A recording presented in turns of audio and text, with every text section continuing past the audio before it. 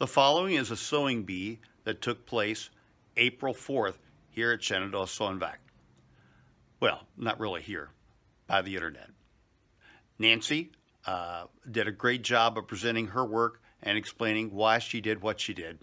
Uh, it watch and enjoy. We will have another bee coming up next month too. This time on the 2nd of May. Thank you. Bye bye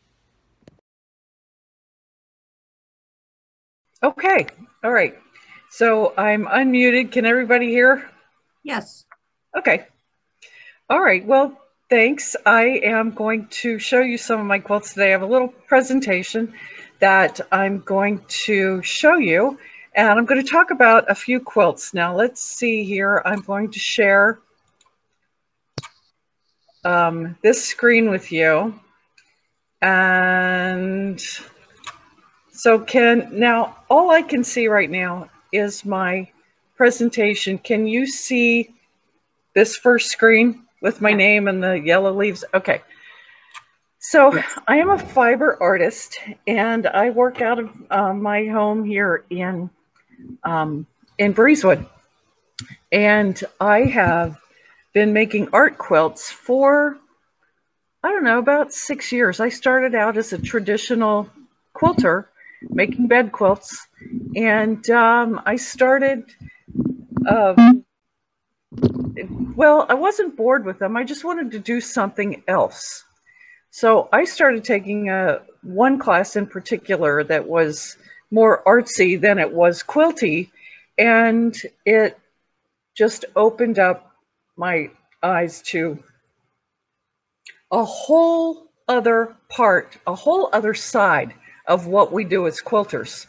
So we're making art, but we're using quilting techniques and tools to do it.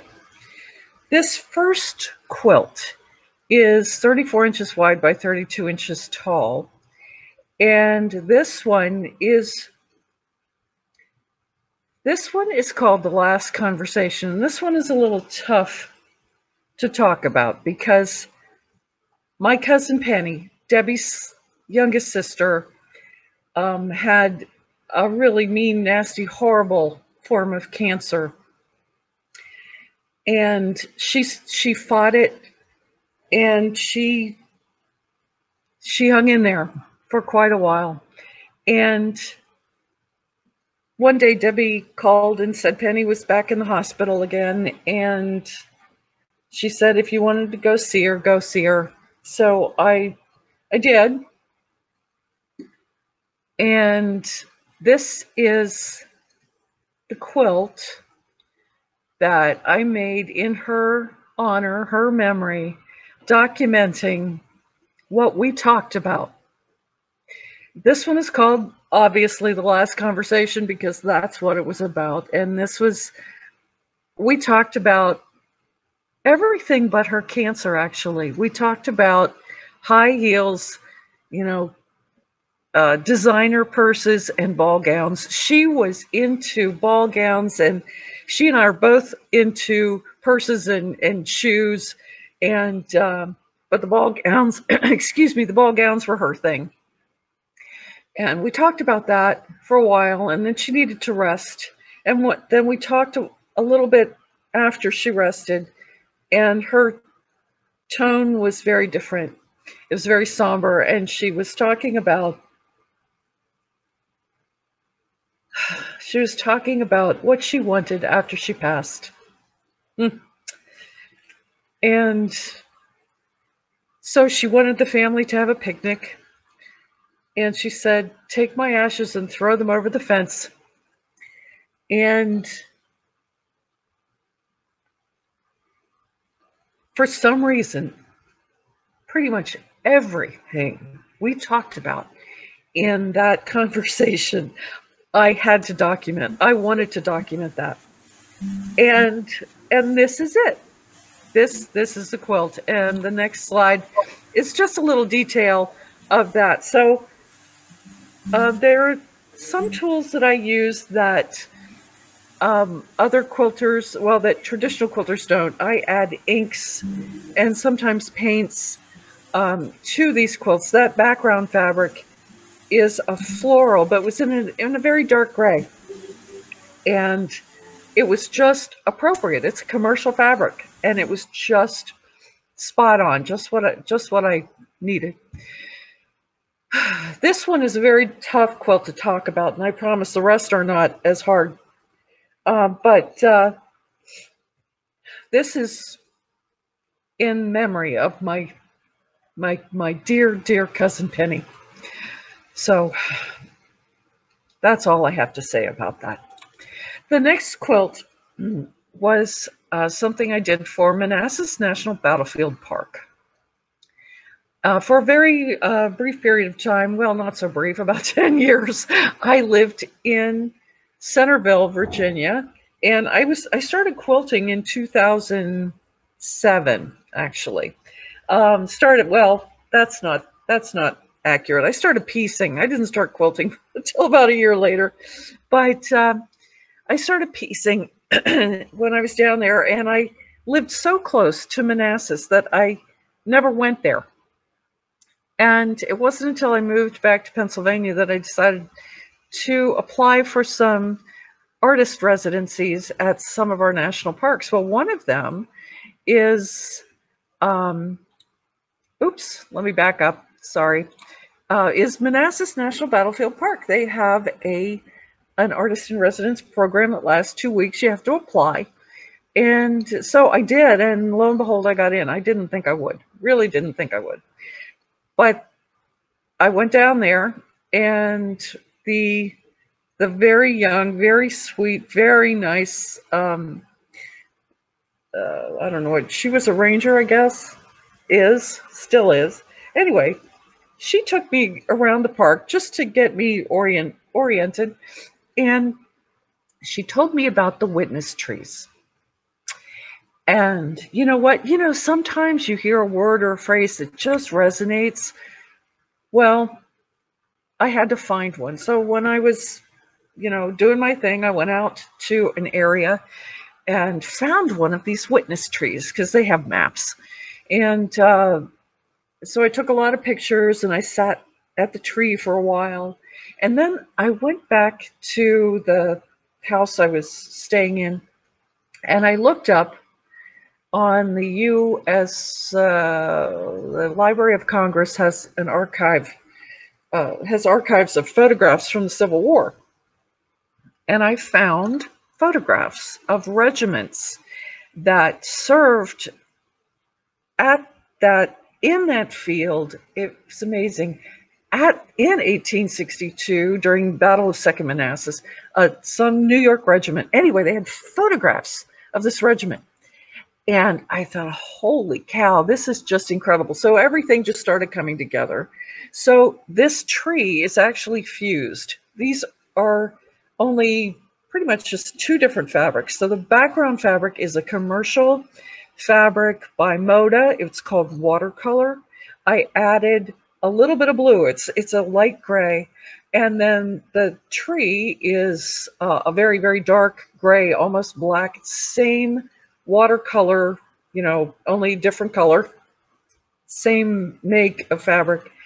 And I added inks and paints to enhance it. So that that tree is many pieces cut up and fused onto the background. The images I had to draw on with, I used, first of all, I used regular number two pencil, and then I used inks to make it darker. Now these inks that I use are, and I'll show you later, um, are water-based inks and you heat set them. Once you heat set them, they're permanent. So they were really pretty easy to apply. Drawing them was uh, was a little tricky, um, but it wasn't bad because I was only drawing part of a face, not a whole face. So it went pretty well. This next one is called Ghost Soldier 1918. So after the uh, the residency at uh, Manassas, I was really pretty much into this ghost ghost soldier theme. And uh, there was a local call for entries up here in Bedford County. The local historical society put out a call for um, in Flanders Fields. the poppies blow between the crosses row and row. You know that poem. Anyway, our grandpa, I, I'm talking to, uh, because Debbie's on this call. She's, um, um, so our grandpa, Grandpa Furry served in World War One. So this call for entries resonated in more ways than one because our grandfather was there. He wasn't in Belgium, he was in France, but still, he served in World War One. The helmet he wore was very similar to this image of the Canadian soldier that's on here. And um, his uniform was very similar to this one. Anyway, so um, so I looked up, read the poem, looked up images because I've never been to Belgium. I've just so I don't know what those fields look like, but I'm basing this on images that I found online. And poppies, to do poppies, it's really, really, really pretty easy uh, because when you do poppies, they're, the flowers are just all different shapes. You can't go wrong. it's not like a rose. Um, anyway, I'm going to stop for a second here, and I want to make sure that. Ruh-roh, where'd you go? Where'd you go? Can you still hear me? Is every can am I? Okay, good. All right. So I'm going to start this back up again. Whoops. Let's go back here. All right. Um, so anyway, to get the background, I started with PFD fabric. PFD fabric is um, called Prepared for Dye. It is made by Moda. Actually, other manufacturers make it, but it's it's made without. Uh, there are no. There's no sizing in it. No nothing. It's made to take inks, dyes, paints better than anything else actually. So what I like to do sometimes is I'll paint my own ba background fabric by using um, special acrylics that are made for fabrics and I water them down. I mean, really water them down and I apply them like watercolors and just lay them out on the yard to dry. And it works really well if you want this uh, background that's just sort of hazy and watercolory. Anyway, it worked on this one. It worked for this. The soldier was done in inks and pencil. I had to draw him on too. Um, so, you know, it just worked. Uh, things just came together. Sometimes things work and sometimes they don't. This is another detail of just a little closer image of the uh, of this soldier. You can see my quilting is very, very dense, if you can see it at all. Um, um, but that one, that one's a lot of fun. Now this one I made for my cousin Larry, Debbie's brother. And this one has that hand painted background as well. This is actually commercial fabric, but the background is hand painted. And um, then these, the flowers, the foliage, these are all individual pieces of fabrics. They're batiks or just regular commercial cottons that I cut up and put on and just fused down on here. The bird is actually drawn and stitched. And then there's a little bit of ink and paint added to that. But the foliage that you see to get that highlight and shadow and that three-dimensional look about it, that's all done with inks. So each flower is one, one piece of fabric. And then I just filled in with inks. It's really not hard to do. It takes a little practice, but it's really not hard. This was a fun one. Um, Larry's wife, Fran, loves hummingbirds. And he wanted to surprise her for her birthday with, you know, uh, an artwork. And so he asked if I could do something. And what do you say to your cousin? You said, Of course I'll do it. so this one right here, I did just last year. I I think I, I mentioned that I'm into, you know, applying for residencies at national parks last year. I got into, I was so fortunate, got into Great Smoky Mountains National Park as their artist in residence in September. So I spent the whole month of September exploring the park and uh, taking pictures. And when I got down there, I thought that I would be wowed and inspired by the the mountain vistas and the you know the distance and the views and the gorgeous you know views from on top of those mountains. What instead inspired me was the water that ran through it. And it was just so clear and so beautiful. In places, it was, you know, white water and rushing over rocks. And in other places, you had still pools that were crystal clear. And so I have a lot of pictures of the water at uh, Great Smoky Mountains National Park. It was just incredible. This is the second one uh, that I did. And uh, what in, so the name is Water Dance, and each, the name of the series is Water Dance. So I've done more than one of these.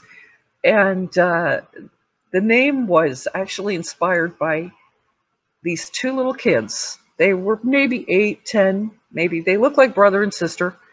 Their parents were sitting on a bench along the side of the river, but, and this was a, if you know Great Smoky Mountains National Park, there's the Oconaluftee area, and I don't know if that's the name of the river or not, but by the Oconaluftee Visitor Center, the river runs right next to it. And I was walking along, along the river, and there were these two kids in the water, and they were practicing ballroom dancing. You know what I mean? The kind where you're, you know, holding their partner's hand and one is behind the back. They were doing that, these two little kids. And it was just, it just blew my mind. So anyway, I took pictures of them and I took pictures of lots and lots and lots of water. And this one is one of the uh, uh, one of the photographs, uh, based on one of the photographs. This is actually a quilt. This next one is also from um, the water uh, images that I took. This one I call Beside Still Waters. And this one I thought was just, um, well, just the image that I took that this is based from was just one of those haunting images where the water was so still, it was so quiet, and and you know you had the dark pool in the background, you had the shadow, you know the woods was very shadowy. The light was coming from behind my back, you know, projected forward into, but stopped at the edge of those woods. So this was um, another one of those magical, magical moments. I really ha- I had to do something when I had to when I saw this picture, and uh, so yeah. Anyway, the the fabrics are here are all commercial fabrics, by the way, and I have discovered recently that um, Stonehenge fabrics by Northcott work really well when you're trying to convey water. They work really, really well. This is my most recent water dance. This one is called Oconaluftee because this is the area where I saw those those kids. And um, so I can't zoom in on this, but the quilt is hanging over here, so I'll show you later.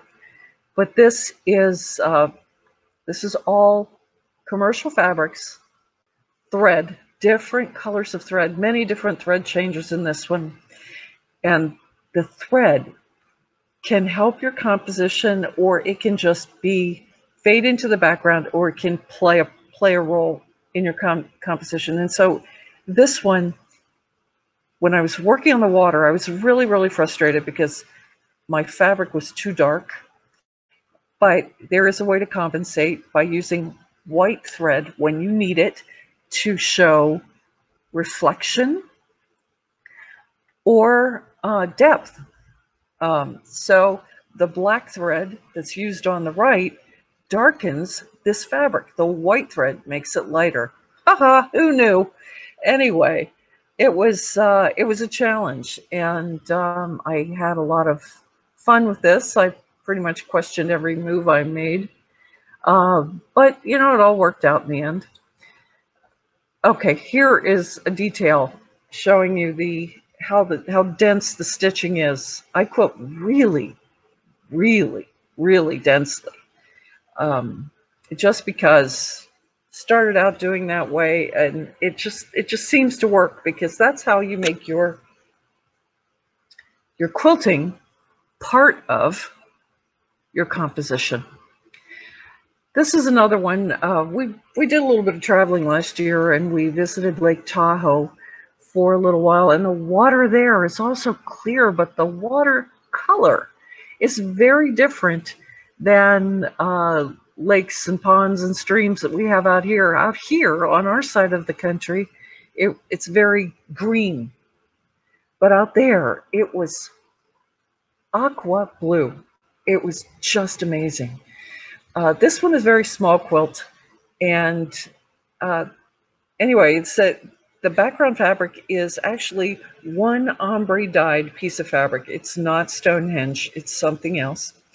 But it's cut up because I took the darker parts and I needed to use that as shadow. And then I added inks over here on the left-hand side where you see the rock uh, standing up out of the water. That's a that's actually Stonehenge fabric. And the rocks in the center and the rock to the right, that's also Stonehenge fabric. It was uh, that was a lot of fun to do. A lot of fun.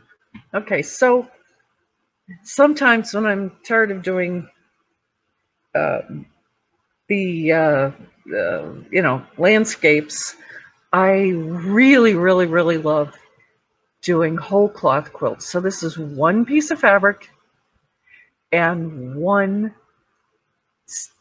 color of thread. So we have, if you're familiar with the color wheel, uh, blue and yellow work well together. They are not opposite. They're not complementary colors, not quite. Blue and orange are complementary on the color wheel, but if you have a, a royal blue like this was, is, and a yellow, you use a yellow, a high value color thread, then you have, it gives you high contrast and it gives you visual interest and texture.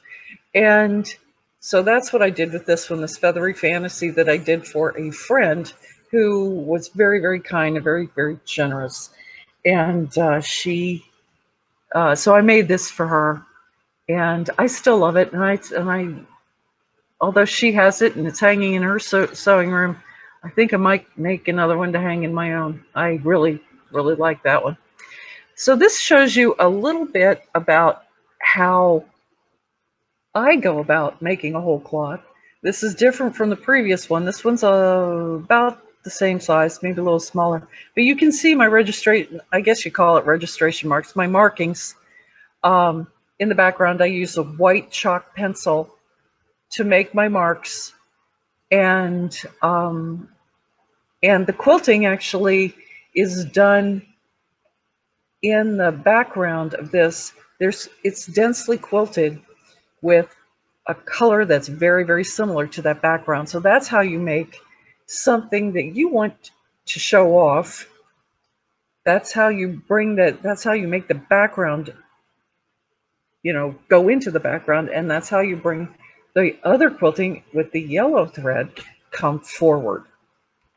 It's a lot of fun. It really is. This one was is done with gold silk silk habotai, I think it's called. It's that real shiny silk. And um, silk thread. And we learn as we go along. I used silk batting. Silk batting is my go-to batting because it's lightweight. It quilts unbelievably beautifully. And it doesn't get stiff because you'll see in this picture how dense my quilting is. You see how that background behind the feathers there recedes because it's so densely quilted. And so that's how you see the feathers, uh, definition in the feathers. But um, where was I going with that? My big mistake, my big lessons learned here is if you want to make a whole cloth quilt, you want to use a batting that will um, poof up a little bit. So for whole cloth quilts, I now that I learned this lesson, which I use silk batting, silk batting relaxes and becomes very fluid and pliable and drapey. Wool batting is going to poof back up. So if I had used wool batting, the background would be just as it is, but those feathers would be more pronounced. Lessons learned. That's all right.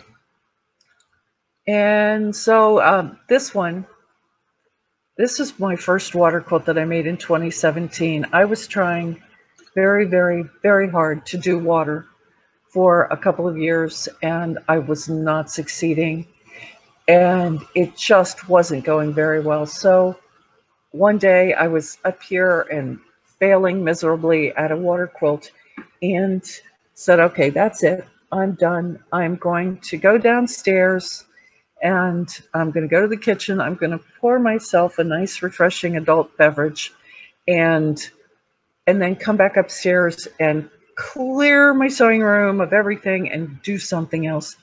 Well, instead of pouring that adult beverage, I poured a glass of ice water. And the glass started to frost up. And I looked at it and I thought, oh, maybe I was thinking too big. Maybe I have to start small. And so I came back upstairs and made this. So that frost on that glass is from inks. And I'll show you the inks that I use in a minute. But that's made with inks. Uh, the lemon, the knife, and the ice and the lemon in the glass are fused. The rest is just background and inks applied to that fabric. So, um, so I'm going to go back and join you. Stop sharing. And I'm going to try to get back. Okay, I think I'm back now. That My free motion is still just outside the ditch. well, you know, just so you know, I teach free motion quilting. Oh and um, uh, on the domestic machine, everything I do is on a. Uh, I have a. I, I just use a Bernina. I have Berninas, and uh, that's just because. And I know your sewing studio is beautiful. Oh, thanks. Thanks. Did you, yeah. Did, did you say 2007? Yes that's when I started learning how to piece. A friend of mine, it was yeah, I had some pretty tough times in 2006, and uh, and I wasn't handling it very well. And my dear dear friend Sue Ann said, Nancy, we're going to take a quilting class, and and I said, what? I didn't know how to sew. And uh, thanks to Debbie, by the way, Debbie Tangren, who had the class at Shenandoah Sew and Vac, um, I now learned how to sew I can quilt, but sewing is a different skill set. And she has got that. She knows how to do that. I mean, she designs costumes. This is, you know, I am in awe of my cousin Debbie. And Nancy uh, is so sweet. I cannot quilt. I took two or three of her classes, and it took an hour lesson in how how to use the rotary cutter. That's how much I learned. So, and when I taught the last class, my students loved the rotary cutter and took to it in less than five minutes. So Nancy is awesome. Debbie kept saying, pin it, pin it. Well, I don't like to pin. I don't like pins. Nancy, pin it. Pin this together okay, Debbie, I'll pin it. And then I'm taking them out and and uh, use scissors. I don't use scissors. I use a rotary cutter. That's the difference between quilters and sewists. Yeah. No, I, I, I, I'm amazed that you go to this the the free motion quilting side. Well, that's not even free motion quilting. That's just you're above and beyond all that. I still just like the piecing. You know, so I've got 16 or 17 tops. Um, this is the closest I come to finishing a quilt is getting the batting and the backing on. you know what? There's nothing wrong with that. There's absolutely nothing wrong with that. And if you like to quilt by check, there's nothing wrong with that. Send it off to someone. But you want to know something? We're most passionate about things that we're good at is things that we are most passionate about. And you are very passionate about piecing right now, and that's very obvious. So Your your piecing skills are just Oh yeah, when you get that when when you get that those uh perfect pinwheels, there's They're very pretty. there's nothing better than a perfect point. Oh, get that- You do a very, very, very good job. They're just beautiful. They, they weren't supposed to be backwards. if I ever followed a pattern like to the letter, I might actually accomplish something. The minute you you go off topic with a pattern, mm-hmm. you can start with a pattern, but you can say, "What if I did this?" And if as soon as you do that, you are you're exercising that creative muscle. You are being creative. Go with that. Sometimes things work beautifully, sometimes they don't quite, but they're always a lessons learned. And some quilts are never, ever supposed to be finished. They are just so don't freak out about your UFOs. Seriously, don't freak out. Some are never going to get finished, and that's okay. They're they were practice. This quarantine has made it possible for me to finish several of my UFOs, but I prefer to call it now the PhDs, projects half done. and I have a plethora of projects. this quarantine or lockdown could last several more months and I would still have plenty to do. Yeah. exactly. Yep. yeah. But I am in awe of quilters because it's just a skill that I understand, but I just don't have the technical wherewithal yet to do that. Yeah, and, and it's and it's I I don't have I love to learn new things, but I don't like learning. If that makes absolutely no sense, I just want to know it. You know it. I don't want to practice it. I just want to know it.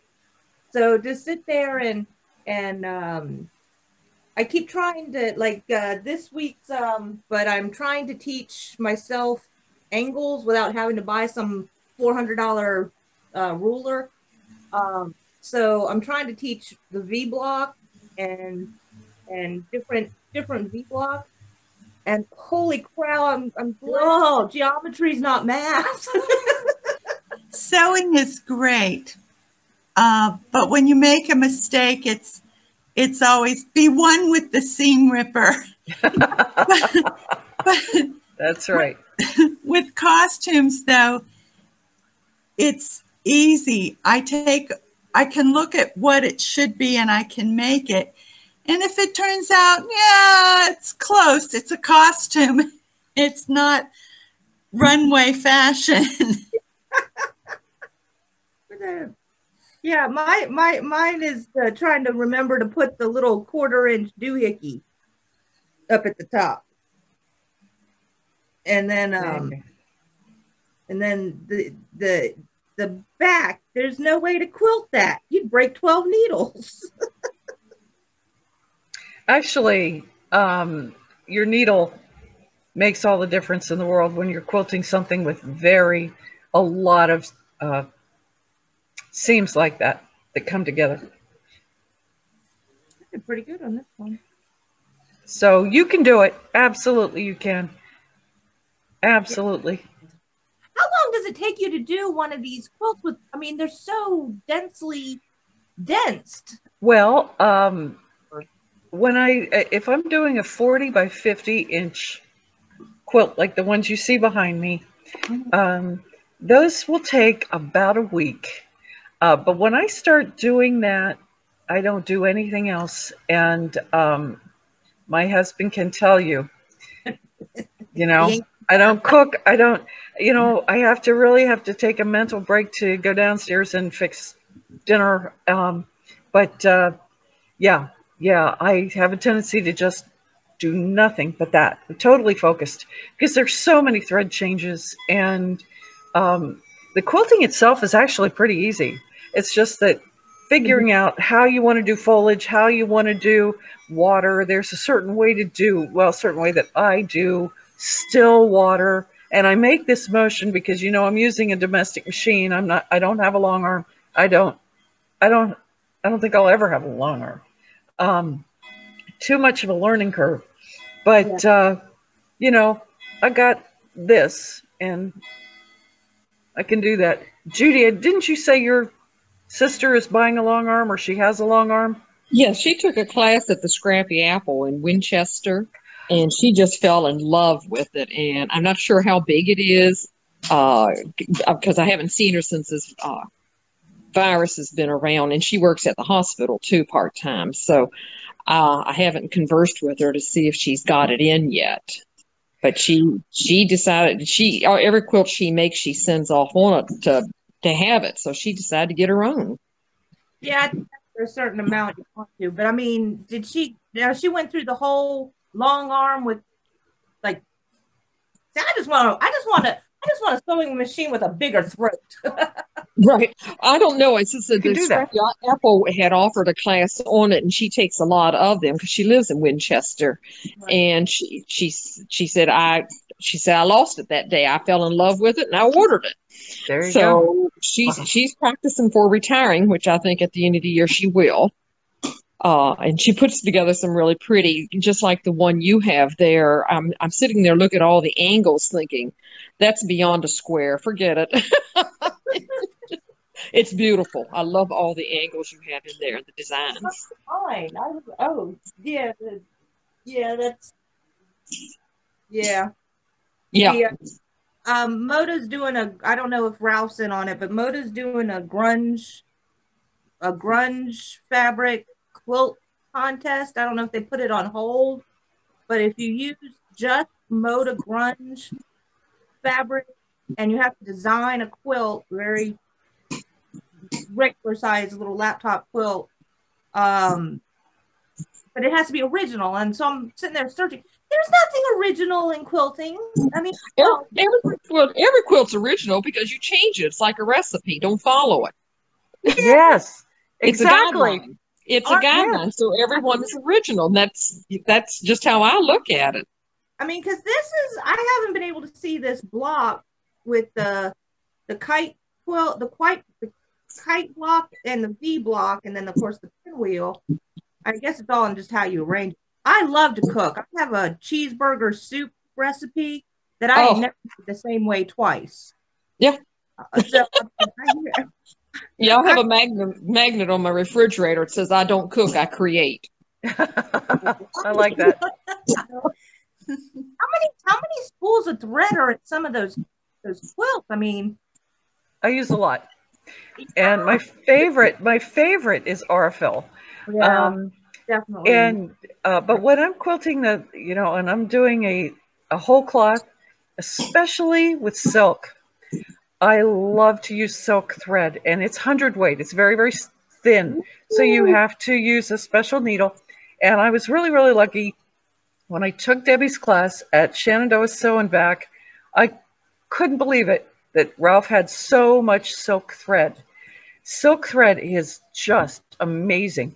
Um, and I I bought up I think his whole stash or most of it anyway because it's hard to find. Yeah. Quilt shops don't stock that as a rule. It, it's really hard to find. You have to order it online. And, you know, when you want something, a thread, especially thread, I want to go to it right now. And I was so lucky that they have it at Shenandoah. So if you ever decide to use 100 weight thread, use use silk, the silk thread that Ralph has there. It's it's wonderful thread. It's good stuff. You have to use a, a needle, that, a really thin needle, uh, quilting needle. But I think what's the smallest size? 75, 11 or something like that. I can't remember.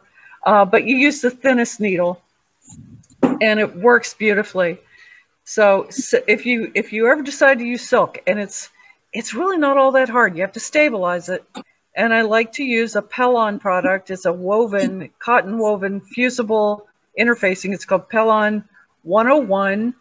And um, anyway, that's really good stabilizer. And you put that on the back, you fuse it to the back, it stays there, but it makes silk behave Yeah. itself. Like a quilting cotton, it turns silk into, it, it behaves itself and it's not going to unravel and it's not going to move around on you. And you can quilt it, you can layer it. The Pellon 101. Ralph, Okay, so we don't have our PhDs and things of that nature. At what point do you try to fix a boo boo or just go on to the next one? I'm sorry, say that again. Said, We all have our unfinished quilts, but you decide that uh, it's not say it's not worth saving. I mean, do you have a whole box of oops? I'm getting a lot of feedback and I, I didn't, I, I didn't hear the question and I'm so sorry. Um, you got a lot of oopsies? Yes, a lot. That's how you learn. Absolutely doodly, yes. A lot of oopsies. I have a closet full of quilts that are oopsies. That at one time I thought, oh my gosh, oh my gosh, this is great. This is genius. No, it's not. And and that's why they're in the closet. I don't know what to do with them. If I had a dog, they'd be on the dog bed.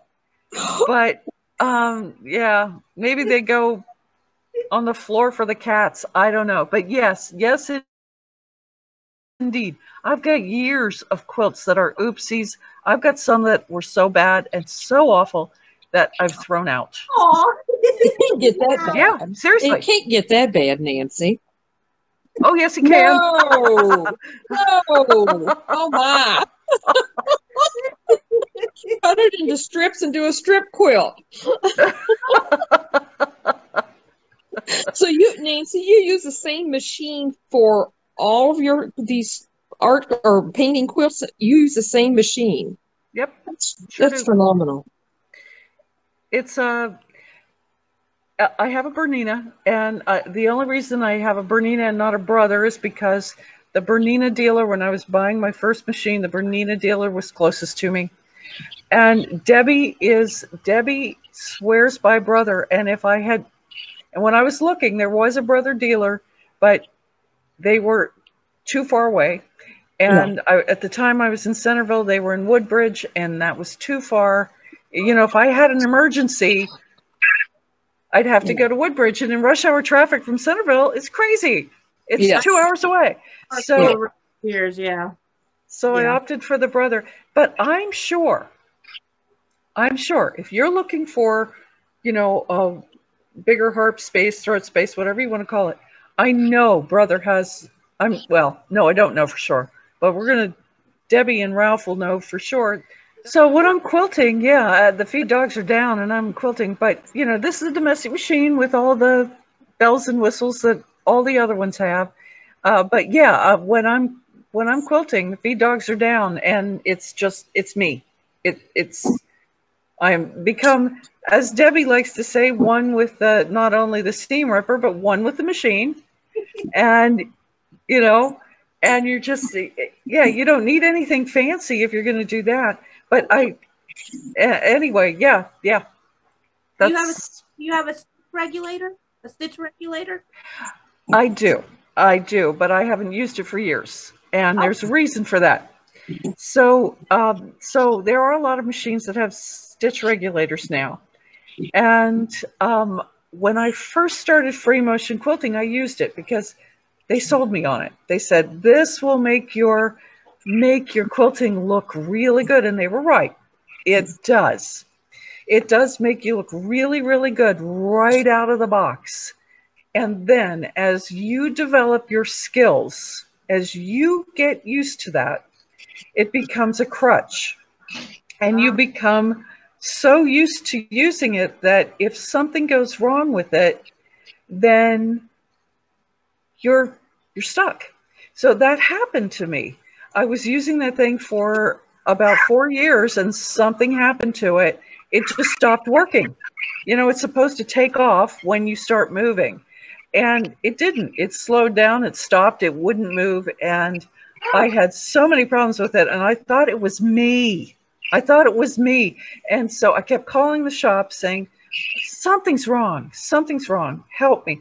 And I wasn't getting the answer that I wanted, um, which was, it's not you, it's this. And it was one shop that I called and they said, oh, yeah, the stitch regulator needs to be recalibrated. And there's a little spring in there that needs to be replaced. Really?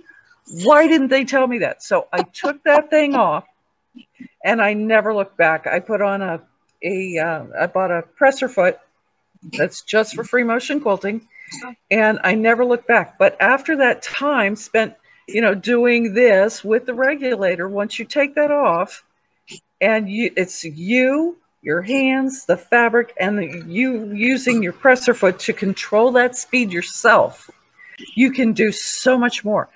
The stitch regulators that you put on the machine don't give you enough visibility behind them.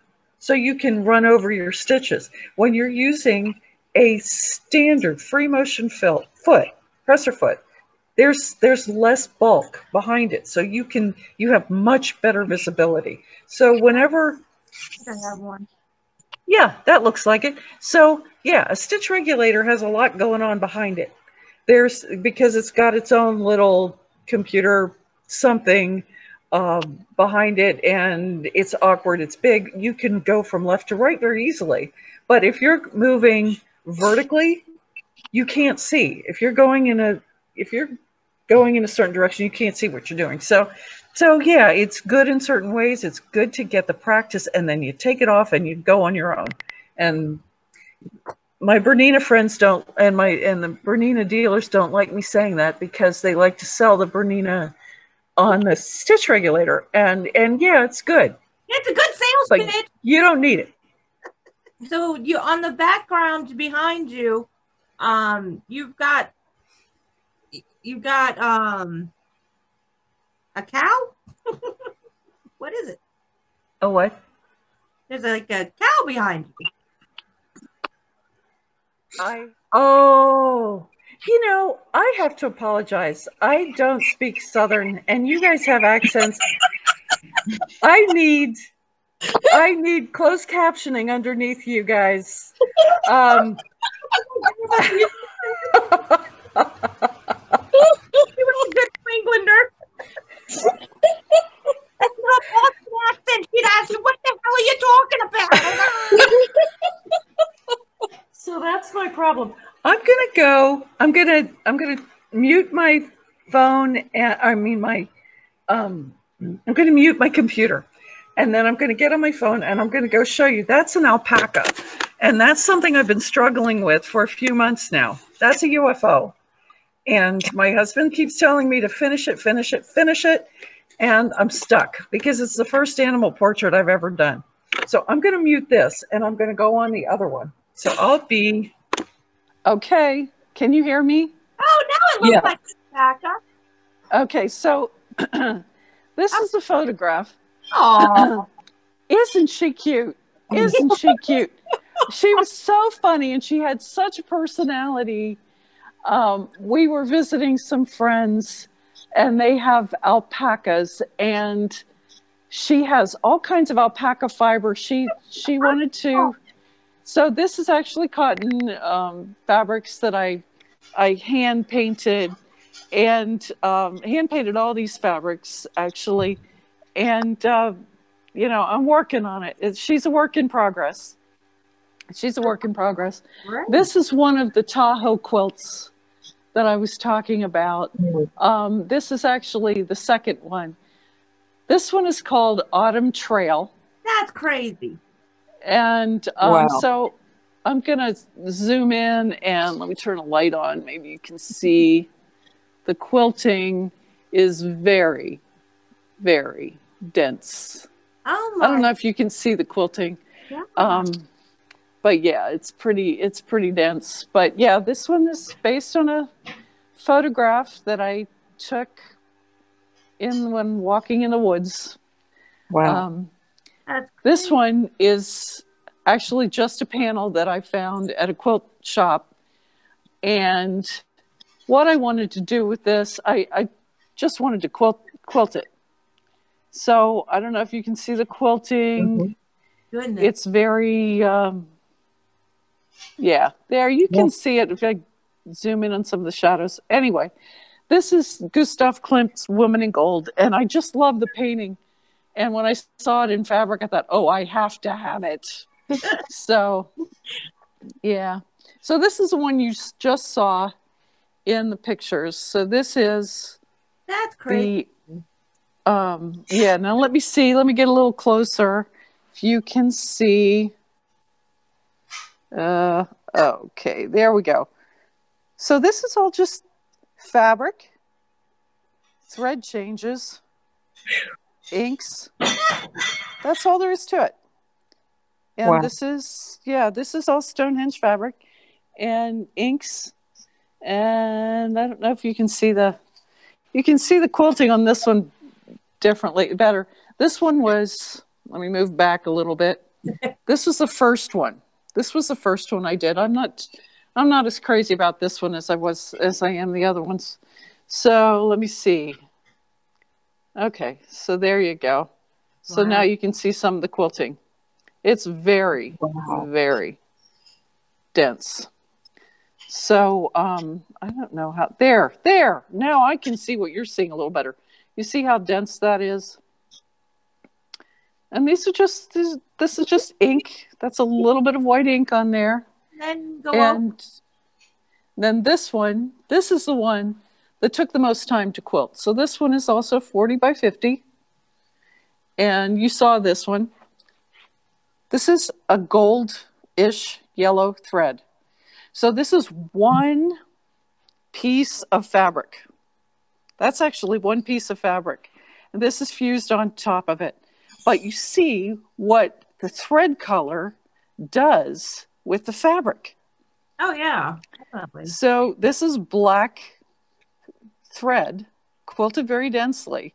And look at that, just between the two. Look at the difference that makes. You can see some of the fabric in the background, I mean, behind the thread.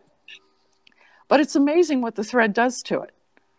And the tree itself is done with just thread, a little bit of ink. These are two pieces of fabric, just fused. I like Misty Fuse. And I don't know why my camera keeps getting fuzzy and and not fuzzy. But anyway, this isn't all that hard. It took a while to learn how to do this. It takes practice. And this is the this is the one I showed you in the in the picture. So this is fused. This is just ink, fused inks, quilted very densely. This is quilted black on black. I do not recommend that. I thought I was going to go blind. I don't know why. I thought I could actually quilt black on black. It was, yeah, it was a, it was not fun. It was a bit of a nightmare. But anyway, Looks good. and this, and so this is actually these are my cottons. wow. So I have a little bit of fabric. I had a friend come in and say, Nancy, I think you need more fabric. I don't think you have enough. So She has that already washed and ironed and ready to go. I'll have you know. She is so organized. these are flannels for the most part. These are flannels and my tools and all sorts of stuff. Now I'm going to mute this one and go back onto my computer. All right. So that's a pretty quilt. That's a really pretty quilt. Oh no, that's my ugly quilt. I I, I oh, still okay. I was practicing binding and Okay. I I shortchanged myself and never got back to it. Now that I have the skill and know where I went wrong, I can I can fix it now. But honestly, I just throw it over my sewing machine so that I don't get dust on it. My my my favorite thing. I'm a I'm I like counted cross stitch. So most of my quilts lately have had a little a little little cross stitch in them. That's what I like to. Like uh, I I I've done a baby quilt and um, how did I switch this? Oh, there it goes.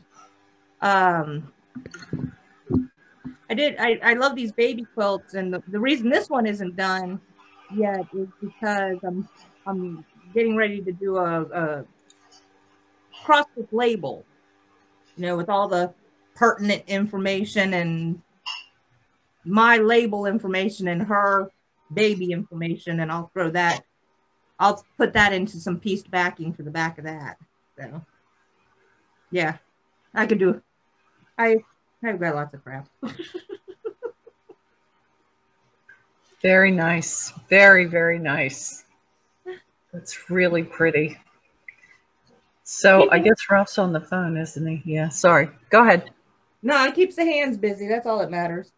That and um, uh, t-shirt quilts for friends. You know, I, I do piece quilting because your your free motion gives you joy. My piecing gives me joy. But my friends want, you know how friends are. Oh, you have a sewing machine?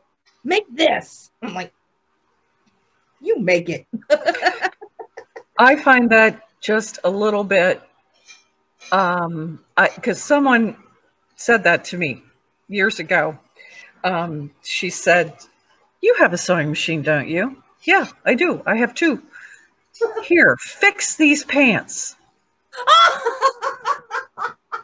so I took those pants home and I kept them for six months until she asked for them back because I don't know how to do that. That is not the kind of sewing I, that is a completely different skill. She just didn't want to go, she just didn't want to pay someone at the dry cleaners to fix it for her. So I held on to it till she wanted it back. And I said, all right, sorry, never got time to do this. she never asked me to do anything else ever again. I, my sister did the same thing. My sister asked me, "Oh, she said, "Oh yeah, you can sew. Here's a pair of shorts. Can you fix these for me? There's holes here and here and here." I said, "Sure, Missy. I'll fix them for you." So I took them home, and I don't know that kind of right stuff because uh, I don't have that that knowledge base. What I do know how to do is fuse fabric.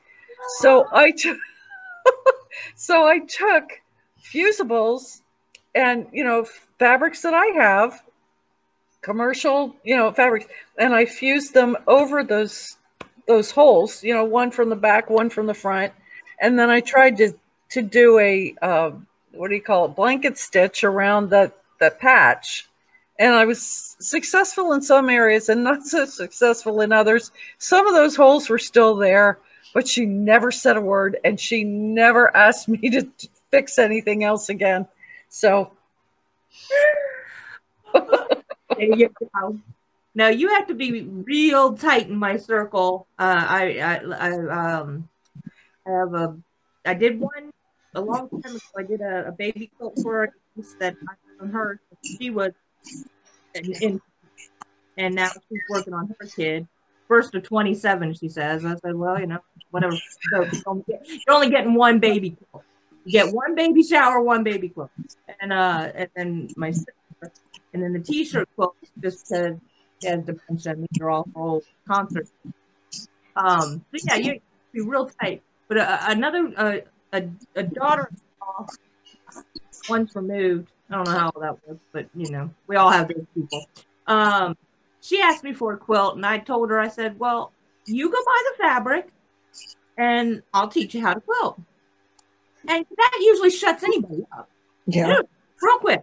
I gotta do it. Yeah, I'll show you. Well, it shut her up. Well, we're under quarantine. She went out and bought a sewing machine. Oh, that was funny. Because she finally took it out of the box. She got it at Christmas time. She finally took it out of the box so she could make masks. I, I'm not going down that road, but I, I no. Um, but she, she's, I'm teaching her. I'm like, okay, we'll do this, and she's like, okay, where do I put the thread? I'm like, wait a minute, you, how long have you had this machine? Like, I just took it out of the box. I'm like, oh yeah. Let me give you Ralph's number.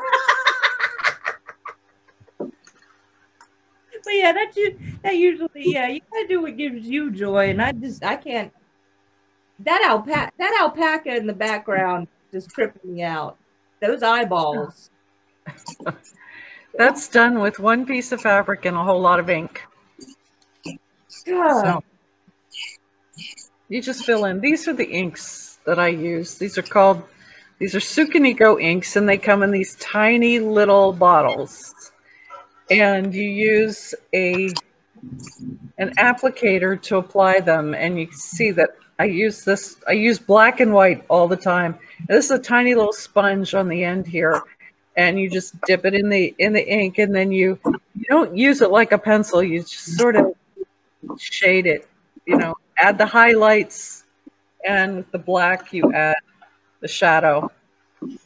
That's all there is to it. And you just inks are for um, detail and highlight shadow really works well. Uh, I don't know what I would do if I hadn't learned how to use these inks. It's just tools in your toolbox, you know? You Right. all know how to use, Debbie knows how to use different presser feet and she knows, she knows embroidery. Embroidery, that's another, if you do embroidery, that's another skill set that is just beyond my comprehension because you got to know how your machine thinks. You got to know how to, what buttons to press and what your design is supposed to look like. And it's enormously complicated. Whoever yeah, nah. Somebody once told me, quit giving up and just go forward. No matter how bad or how ugly it is, just just finish it. Just Yes. finish it. So that's Done is better than perfect. Yeah. that's yeah. Hey. So, yeah. it- The best, I don't know. I don't know what to, I don't know what to say other than if you find that you're stuck and you put a quilt down, sometimes you need some time to think about it Mhm. and then pick it back up again when you're refreshed, rejuvenated. It could be that you were you're doing the same pattern or the same kind of sequencing over and over and over again and you're tired of it and you just need to do something else for a while.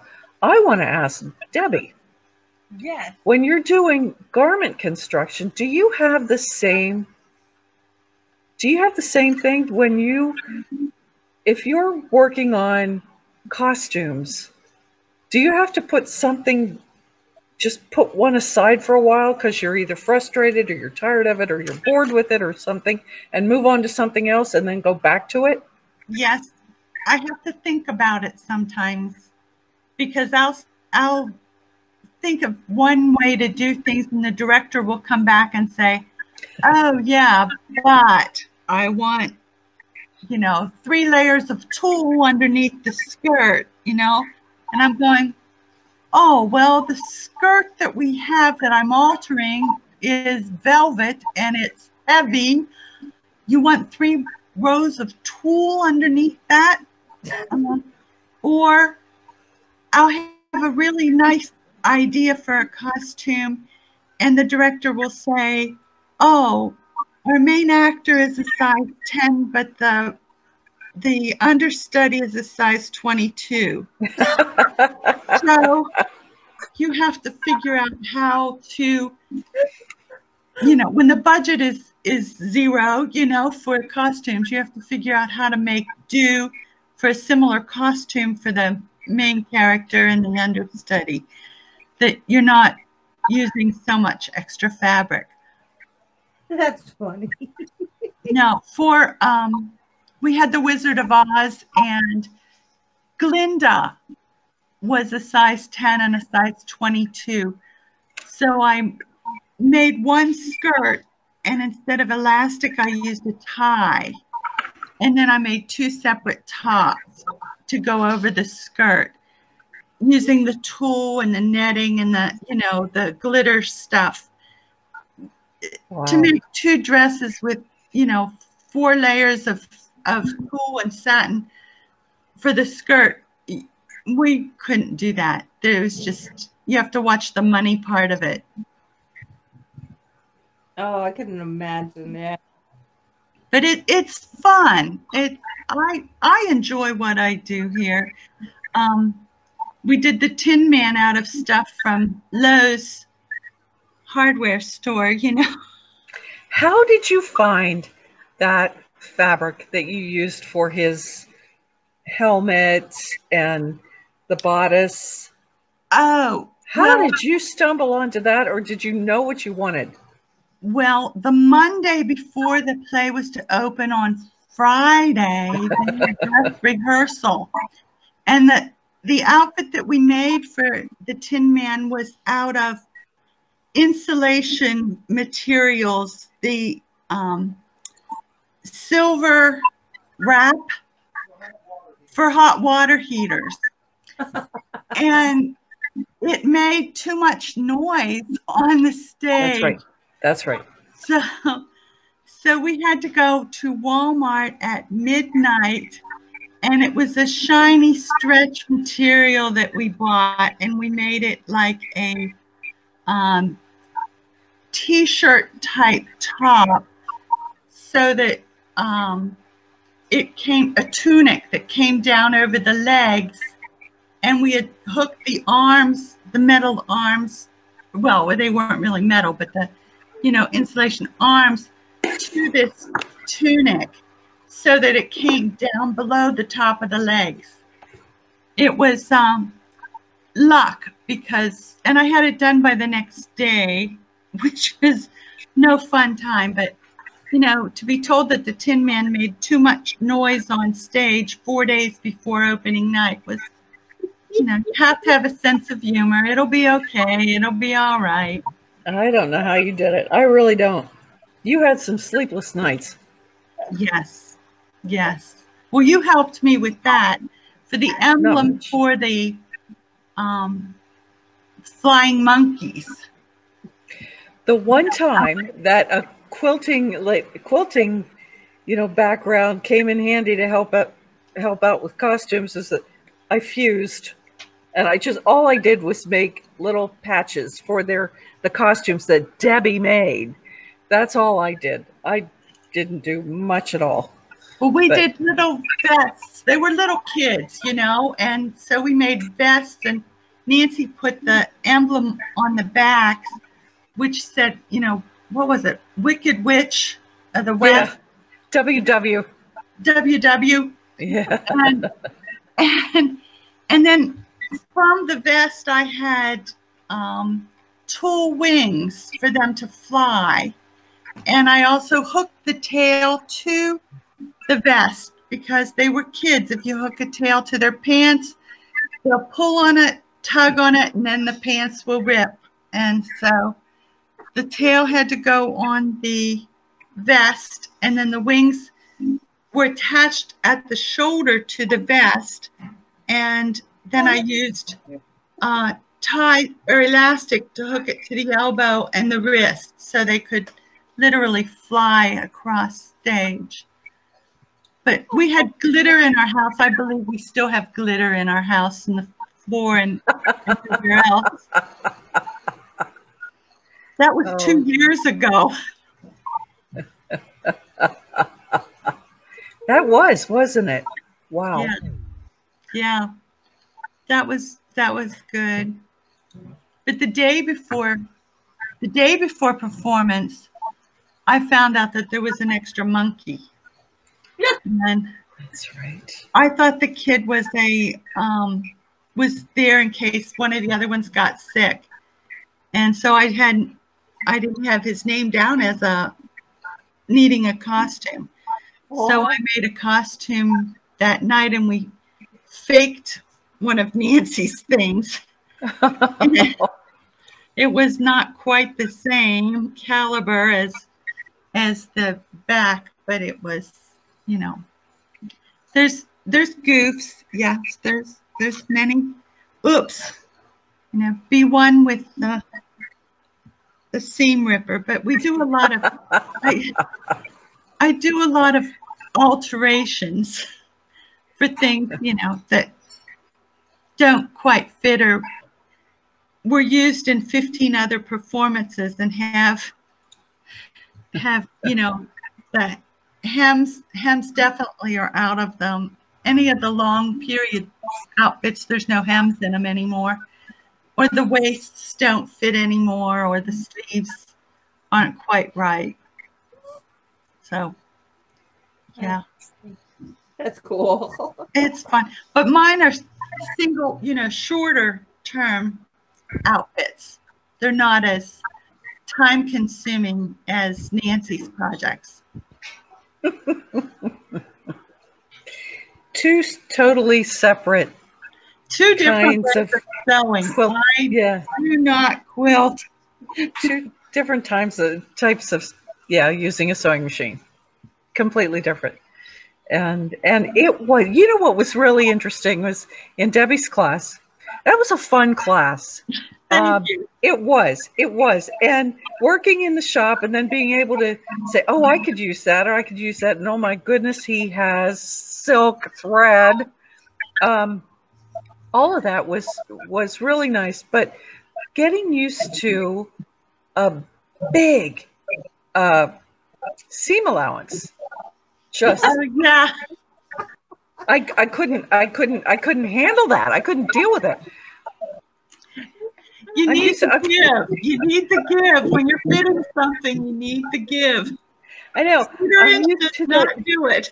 quarter inch seam and you know yeah yeah the, the quarter inch seam and if it yeah if you're i guess if you're wearing it and you it's a little tight yeah it's gonna split but if you've got that big seam allowance it's not gonna do that i don't know i don't know i don't know i just couldn't get used to that i don't know something something just really wasn't clicking there but Oh, well. Ralph is back. Uh, Yes. Well, yeah, I was uh, busy. I've been busier today than I would be normally. It's kind of weird. Um, thank you all. Thank you all for this. This is great. Now, Nancy, oh, thank you so much. You did such a good job. And I'll edit this so I don't, my talking's not on here. And uh, there, there's no applause buttons or throw money buttons. Um, but uh, we thank you. We thank you so much. And Thank you, Nancy. you will be invited to join us again.